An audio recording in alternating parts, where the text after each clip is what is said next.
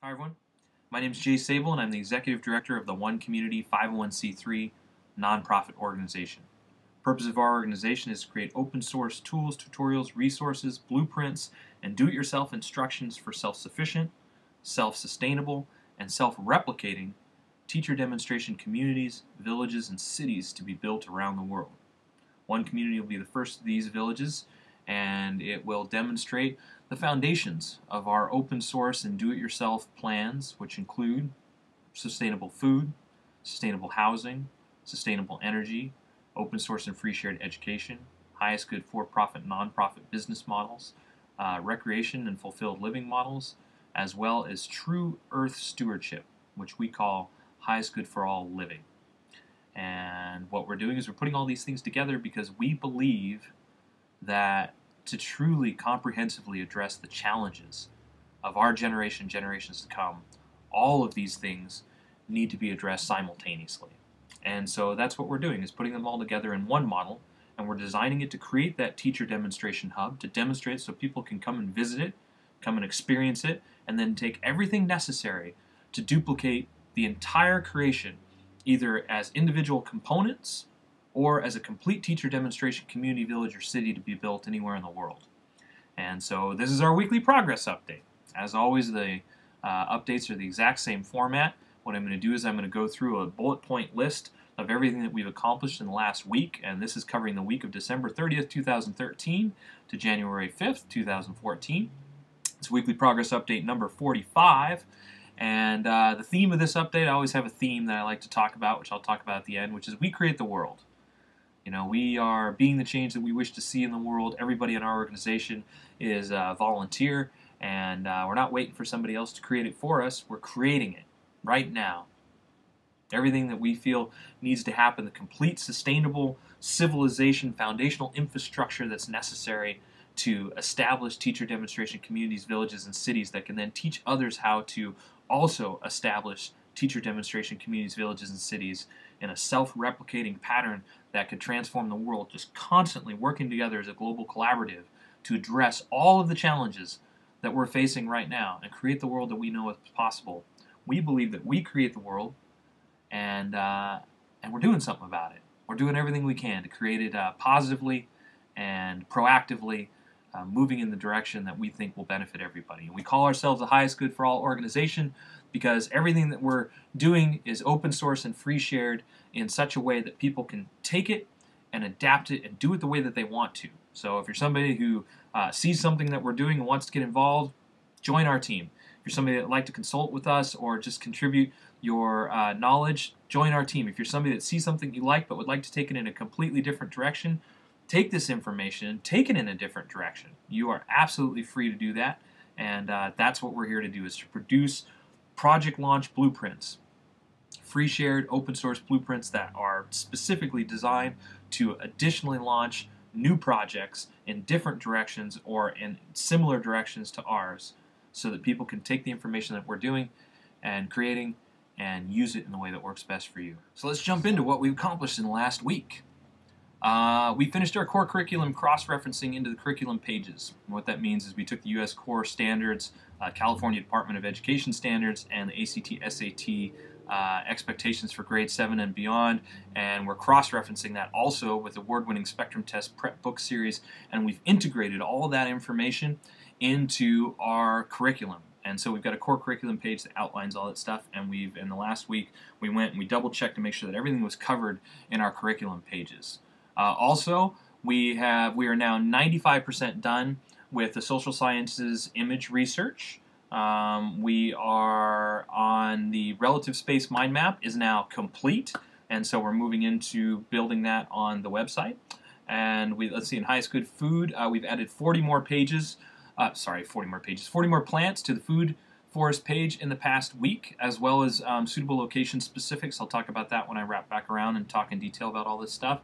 Uh, we've integrated what we learned in 3D on the uh, large-scale aquapini, which led to some more 3D changes. So we moved the pond down by eight inches, along with all the hardware with that. We added, we've started adding in the piping. We began adding in the food rafts, so you can start seeing a little bit more of the food production details within that structure.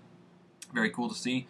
Uh, we've created a SketchUp plant resource page and tutorial video. Great example of our open source goal to create project launch blueprints. Uh, that I'll talk about what that plant resource page and tutorial video is all about here in a second. Uh, we've started redesigning the Highest Good Food open source portal, which is only about 20% done. It's turning out to be a pretty big uh, deal, but the end result is going to be well worth it. Very awesome. And Tropical Atrium Hands, thanks to Devin Porter, are progressing again in 3D, which I'll talk about exactly what those are. Uh, Sego Center fourth floor bathrooms are done in 3D, added in the toilets, all the different things that we needed in there, urinal, toilet paper holder, mirror, all that kind of stuff in 3D. And we've done the first floor locker area in this last week. And also, uh, we welcome Tyler Gonnsen to our team, our newest pioneer, new member of the pioneer team, and he's going to be working on the ACE application, which he's already started studying the code on that to take that to the next level. And I'll talk a little bit more about that in a second. So that's our update overview. Let me talk in depth about all these different things and what's happening because this last week uh, is progress on some huge, huge action items. Starting with education, I mentioned that we did the core curriculum cross-referencing into the curriculum pages, which has been an ongoing process. So we started with the California California Department of Education uh, standards for what needs to be taught for kindergarten through high school. And then once we'd done that, we said, okay, well, we want people to be able to, you know, excel at the ACT, SATs, which are really a, a, a uh, common uh, objective marker for education here in the United States.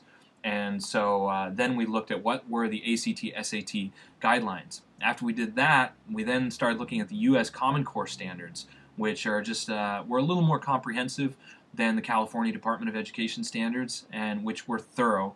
But we wanted to add to that, make sure we didn't miss anything.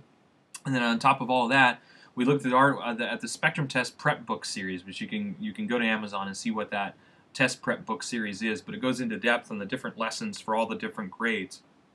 And so by putting all these things together, we've identified what is really the foundational infrastructure of the Education for Life program.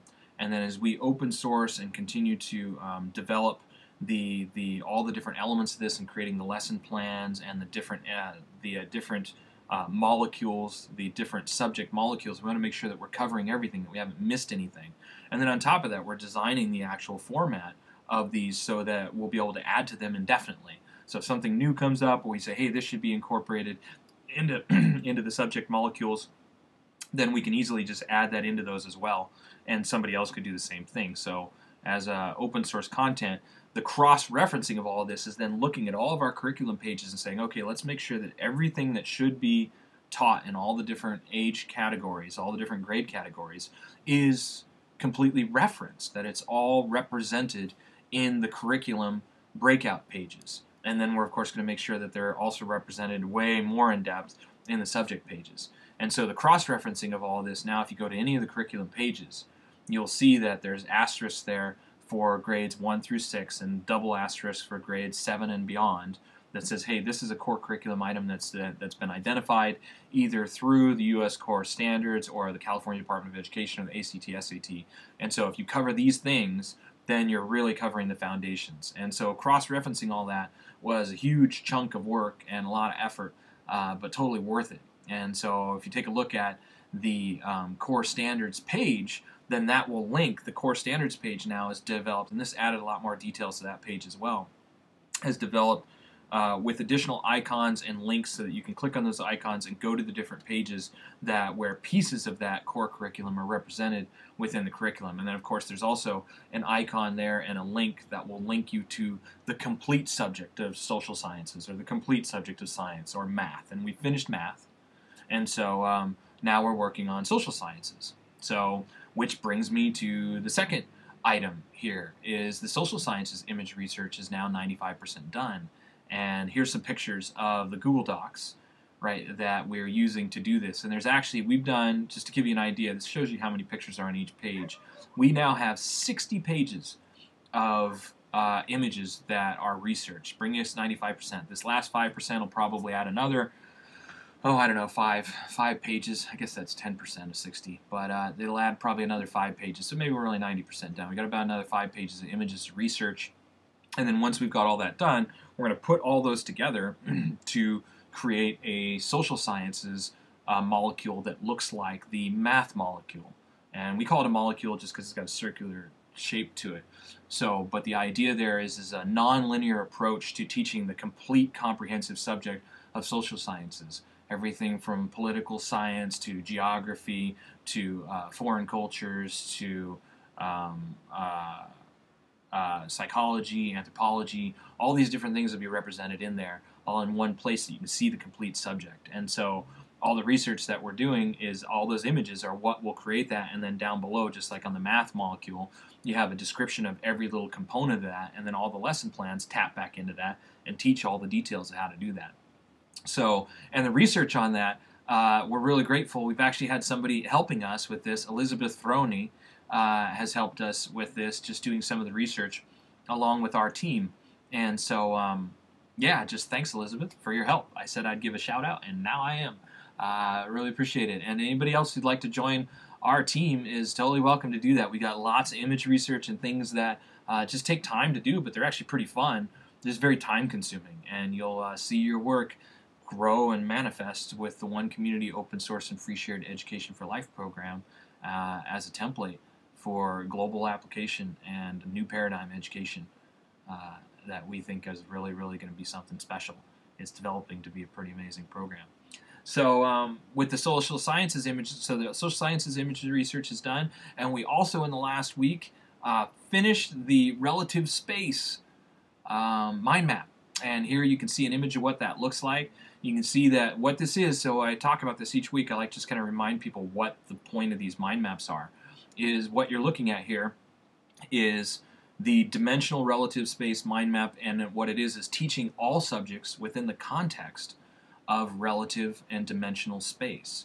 And so if you look, each of the subjects there is represented by the arm on the, on the mind map where you've got art in, in order from right around to left, art, and then English down the bottom there, and then health, and now you can see math, science, social sciences, and then values. And each one of these images represents a different concept that's being taught within this. And the purpose of the mind map is to be a visual representation of how of, of all the concepts within the lesson plan and to stimulate creativity and then if you go to the website, and this is our next step now, is to develop out the web infrastructure that goes along with this, where each one of these subjects that you see on the mind map is represented there on, as, a, as a line of text that talks about how to teach each of these components within the context of relative and dimensional space.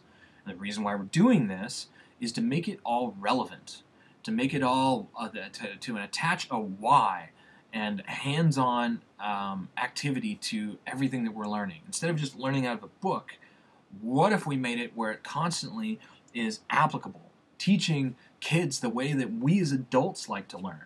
Like most adults don't want to just sit down and read a book to learn something. We learn a lot faster when we're hands-on and we've got somebody to teach us and we can really get our get our hands dirty and do do actually work with the material and apply the material, like on the job training, like internships, that kind of stuff. And so the whole Education for Life program is built around this concept and teaching everything within the concept context of different themes. And we're developing out, um, well, we'll develop an, an unending number of these, but we're starting with 30 something lesson plans. And anybody who'd like to participate in that, we're always looking for people to help out with that as well. So the dimensional space rel- uh, relative, uh, sorry, dimensional slash relative space time, uh, relative space lesson plan is complete, and now uh, we're going to start detailing out exactly what that mind map looks like on the website. And all those details are done on a Google Doc, and so now it's just a process of converting all that over and adding in the colors and all the icons and all the details that go on the website, which will be done this week. We'll finish all that this week. So next week we'll be able to report to you, and you'll be able to click in there. And you know what? We'll create a link uh, in the written blog. There's always a written blog that goes with this, so you can visit the written blog uh, to see to to click on the links to all this stuff. We'll add a link in there also to this to that page so that you can see it develop. And uh, like I said, it'll be done within the next seven days. So yeah, that wraps up highest good education.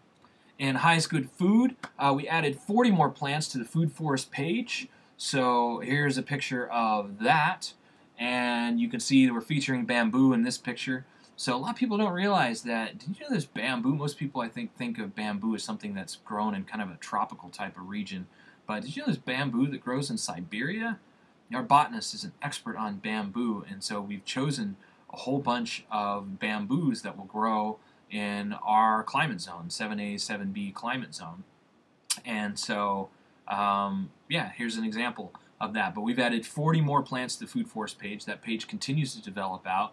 Um, now there's well over 150. I think there's probably about 200 plants on that page already, and uh, we've got a we've got. God, I think we've only got about yeah, there's like 230 plants on that page. Plus some of them are duplicated because they're in different sections. They're all divided up into the different sections of uh, the food forest page, and so we've only got about 70 more to do. Although Michael said that he's got another 50 that uh, he realized would actually go well in that area. So we'll probably add those 50 to it too to make it just as comprehensive as it can possibly be. But um, very cool. And we added suitable location specifics to that. And what that means is um, if you look on the uh, on all the plants that we've added there, it says that these will all be grown in any suitable location.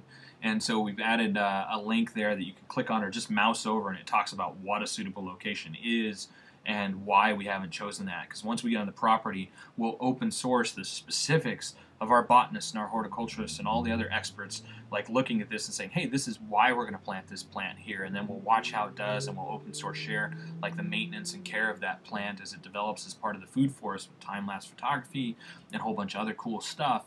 And so, um, you know, until we get to the property, though, we can't do that. You know, we need to actually choose the location based on, you know, how much shade is here and what's the wind patterns here and what's the water flow going to be here and what else are we going to plant here. And so, you know, unlike the uh, planting details and location specifics for everything in the tropical atrium and for everything that's grown in the aquapinis and the walipinis, because those are indoor structures, they can be duplicated pretty much anywhere.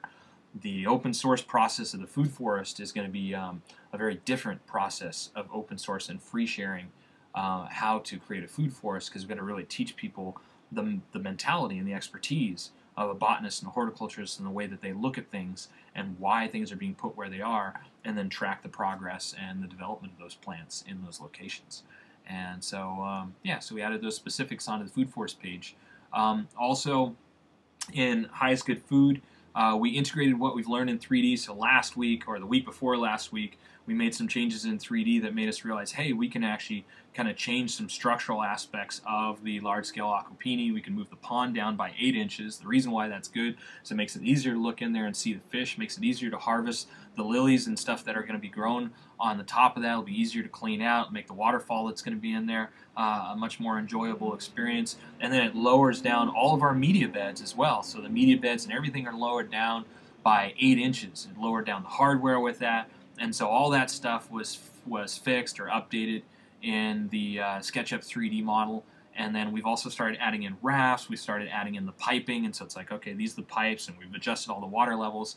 And so the next step, we're just waiting uh, for Avery Ellis this week and Integrated Aquaponics. He's our, our primary consultant for all of the aquaponics and the aquapinis and all that stuff. He's going to double check our work. We, you know, we've designed all this based on his recommendations, and so he's going to double check our work, make sure that we didn't miss anything, make additional updates, and we're really coming down the home stretch on what's inside. And hopefully, within the next week, um, the engineering work that's being done behind the scenes by Zdenek and also by David Sweet. Uh, is working from an architectural perspective on getting all this stuff into CAD. We can start showing you some updates to the roof as well. And those could take a few more weeks, but uh, as Zdenek said in this next week, we're probably going to get, we should be able to get his preliminary uh, engineering designs for that roof, which is huge. Um, and a big part of what we want to open source and free share is you know a permittable structure and then of course how to permit it how to get your licensing how to work with the county all your energy infrastructure all these details are things that we're open sourcing and so we're just developing these things out. You know we create the world. That's the theme of this uh, of this blog. And uh, you know the way that we're creating it is by by building it in great detail and taking the things that are being done around the world already. And now thanks to the power of the internet we want to put that out there as open source and free shared content and do it yourself instruction manual format so that other people can duplicate it all. And so um, yeah things are coming along in 3d very very cool uh, and then also relevant and related to the 3d is we created a sketchup plant resource page and tutorial video And what that is is well, a we put it on our. Uh, if you want to see the video, if you want to just see the video, go to our other YouTube channel, which is YouTube uh, Open Source Builders, and you can see that's where we're going to post uh, our open source stuff. We've got a couple videos up there, but this one's there as well. And then we're going to put it on the actual page.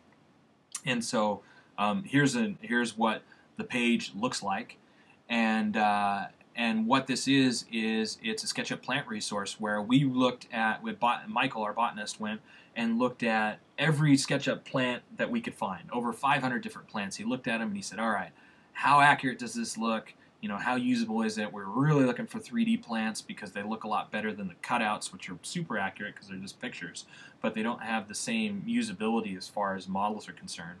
And then he, then everything that he found, he used his decades of experience to say, "Well, what else could this be substituted for? Like, what could you get away with in a 3D model that has a similar look to this tree or to this plant, you know, so that we could expand what's possible? Because there's lots of people out there that are searching the SketchUp warehouse for interesting plants, and there's not, uh, there's no plant representation out there of what they're looking for. And so, unless they're experts on the plants and they're really clear on what it is they're looking for, you know, where do you find a plant that looks like that plant? And so we created this page to be able to be a referenceable resource where people can search for the plant that they want. If it's on there, you find the plant, and then you can download the model. You can click right there to go to the SketchUp warehouse and download the model that you want. And then we created this the YouTube video to be able to teach people how to use all of that information, like how to actually download the plant, like a complete, um, you know, simple guide to everything from downloading the plant to importing the plant into SketchUp, and moving it, resizing it, all that kind of stuff is included in the in the tutorial video. So a uh, really cool team effort to create that and um, exciting. It's the very same tutorial that Michael will be using now as he starts to place these plants into the earth bag village, as he starts to place these plants um, into the, we also want to place them into the aquapinis and the walipinis and we'll start really giving an example of what these structures are going to look like, what it's going to feel like to be inside of these structures. And so um, it's very, very cool and coming along. Um, also, we started redesigning the Highest Good Food open source portal. And so uh, a couple weeks ago, we finished the, well, let's see, what was the last one we did? I think we finished the Earthbag Village redesign portal, and then we finished the Highest Good Society uh, portals have been redesigned. Yeah, the Earthbag Village uh, open source portal is completely done and redesigned. The Highest Good Society open source portal is completely redesigned and done, so you can see what these look like when they're finished. The education open source portal is completely redesigned and done, and so now what we're working on is the Highest Good Food open source portal. And so we're about 20% done on that. And when that's done, it will link real easily with icons to all the different uh, food elements and then breakout pages for construction documents and everything. And so we're just building out the infrastructure that will then be filled in by all of our open source content. And then each page that we're building is designed to just keep plugging in more and more content, and then eventually to add in the global co- collaborative and the global cooperatives input as well as other people build teacher demonstration communities, villages, and cities to take their information and add it in there to create an even more comprehensive and in-depth database. And so, um, yeah, it's uh, it's pretty cool. It's uh, it's come along, and I'm excited to to see that developing as well. In highest good housing, um, we the tropical hands are progressing again thanks to Devin Porter, which are from a 3D perspective by far the hardest 3D creation that we've had yet. It is uh, it is a beast to be able to figure these out. And what they are is in the tropical atrium, there's two hands that are meant to be like this. As you walk in, you would walk in between the hands. And the reason why we have hands in the tropical atrium is because uh, that environment's going to take a couple years. Well, you know, to really develop, it could take five years, five, maybe even ten years for the trees and everything that are growing within the tropical atrium to develop to the point where it's got that wow effect. And so we needed two things. One, we needed terraces in the whole south wall or the south end of the tropical atrium so that we could maximize that growing space. Because if we just put up a wall right there, then it would cast a shadow into the entire structure. But by putting a 30 degree terrace in there, that allows us to plant that whole area. And then we realized, well, it's still going to take a long time for that to develop. And so what we wanted to do is we wanted to create something artistic that would really represent that those spaces. And the hands became the best way to do that because we realized if we use hands, we could create terraces on each one of the fingers that would then be grown on, and then it would just have this really cool look when you walk in there, when you come in from either end, seeing this. And so here's some pictures of what that looks like. Here they are developing in 3D, and you can see a few different um, perspectives here on what this looks like. Now, these are not positioned right, and that's what's so difficult is building these in SketchUp is virtually impossible, and so we've been trying to build them somewhere else and then import them, and you got to import them and then move them around and see, and you, we have all these different you know markers that we're trying to hit, these specific measurements that you see here on where everything needs to be, like where everything needs to line up so we get the right amount of space in the center and where it needs to line up with the top and you know what the different distances are. And so we're trying to build these outside the model and then import them and then up, make it adjustments and things like that. And so, and all of this is purposed so that we can grow all this amazing stuff. And here is the planting plan to show you what that looks like. Like we've planned all this stuff out, and if you want to see everything that we're planning to grow within this structure, then go to the Tropical Atrium Planting and Harvesting page, and you can see all that. All the open source details are there. This is ready with you know the purchasing details and the planting guidelines and everything you need attracting pollinators. Everything that you need is already on this page. This page is complete. It is done until we start building it. And so um, this is a great example that you see here of what it is that of, of our open source process of creating open source blueprints that people can use and do-it-yourself instruction manuals.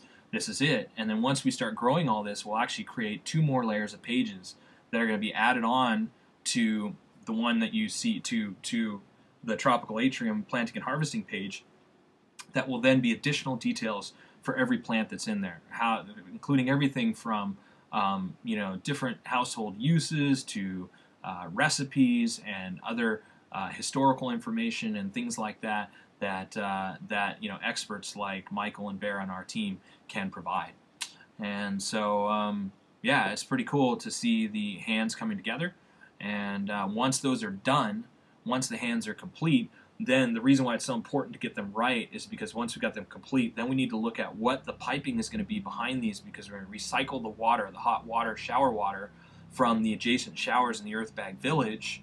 We're going to recycle that water into these hands and it will circulate and move around in those hands and then we'll capture that heat and then also we're going to use some of that gray water underground for watering the uh, watering the different trees or at least that's the plan right now and so we need to get the hands right so we know exactly how much space we have so we can start planning out what that plumbing looks like and start making some decisions on these kinds of things which are important because we've got to price all this stuff out and you know it's just all part of the process. And so um, coming along great work devin porter on that. Really really amazing stuff. Uh, so also in let's see, and then uh, and other structure news, uh, Sego Center, the duplicable city hub, is progressing now, and here's some pictures of what we've done there. And specifically, we've worked on the fourth floor, um, which is there's the cupola up there. And don't be confused by these pictures, like the floor is translucent, and we left it that way because it was more interesting than just doing a, a solid floor. So you kind of see through, you're actually looking through the fourth floor down in the third floor. But this is the bathrooms that have been developed and designed up there, and you can see down below what's underneath it. But uh, that fourth floor is the cupola. It's going to be a, a, recreation center, a multimedia center. It could be for holding classes, whatever you want, up there. And um, these bathrooms then service that fourth floor. And so we designed those, and you can see all the details here that's been put into that. You know, the toilet, urinal, the sink, uh, toilet paper holder, the uh, the uh, toilet cover dispenser. All those details have been added in. And then also uh, in the Sego Center, we have uh, added in the, uh, the ground floor, which you can see here. This is the ground floor locker area. And that locker area services the natural pool. So we're open source sharing a natural pool design to teach people how to build their own natural designs so they don't have to use chemicals and stuff. And so uh, that area, naturally, there'll be a little locker area for visitors to be able to put their stuff, whatever it is that they want to put in there when they jump into the pool.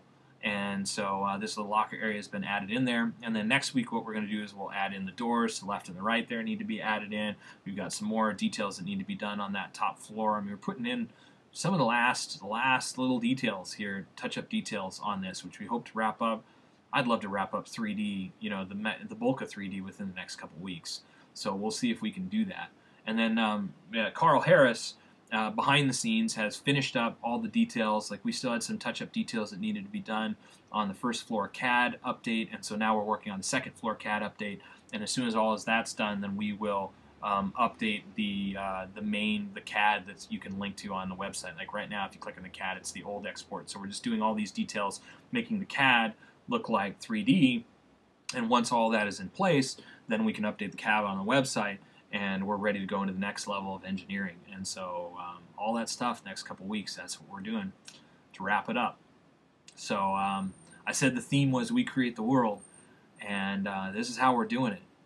You know, our goal is positive and permanent transformation for the highest good of all, all life, all people on this planet, uh, to create a world that truly, truly is sustainable and works for everybody. We call ourselves a highest good for all organization, and this is this is how we're working to create that.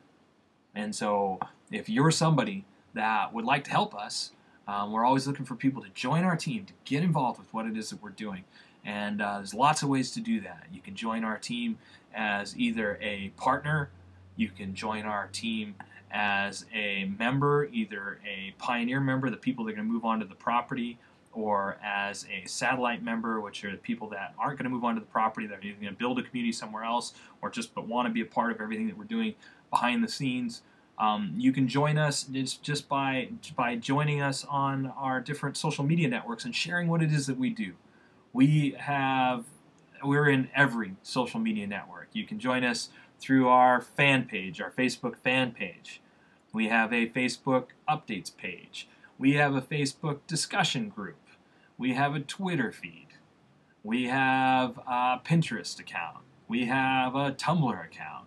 You can subscribe here to this this YouTube channel. We actually have a couple of them. Subscribe to our YouTube channel. Or if you want regular updates, um, click on our, uh, send us an email. If you'd like to receive a weekly update every time we do this blog, we send out an email to anybody who wants just a quick email that says, hey, the weekly update is done. If you want to check it out, here's the link to the written blog and the video. Um, send us an email to onecommunityupdates at gmail.com and uh, we'll put you on that list and you'll just get an email from us once a week. We don't spam or anything, so uh, you know you get one email from us. It's our update email. So, and then of course, if you the one thing that can help us most if, uh, if you really want to help us most is we are still looking for major funding to, uh, to get the property off the market, to remove that property from the market so we can disclose the location, so we can share all the details of that and take this concept of we create the world to a whole new level by creating the first teacher demonstration community uh, that people can, to, can visit.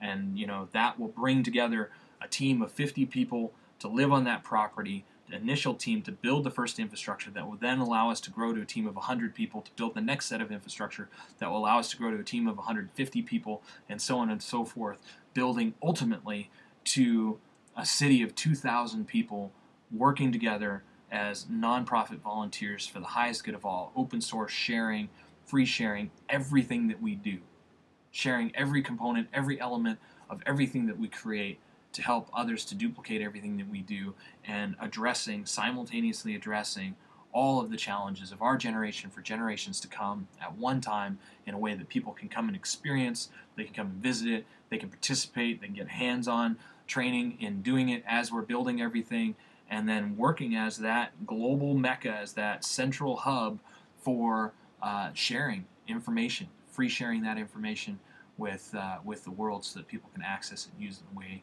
that they want to. And so if you'd like to help us out, uh, if you know anybody, share our funding page with anybody that you know that might be able to help us help us out with that. We'd be very grateful. And um, yeah, with that, I will say thank you until next week. This wraps up uh, weekly update number 45. Happy New Year! 2014 is going to be a good one, and we will keep on keeping on until next week. Uh, say thanks for all the emails and all the uh, all the great all the great support that we get, and um, all of the suggestions and everything are also appreciated. And uh, yeah, have yourself a good week. Thank you.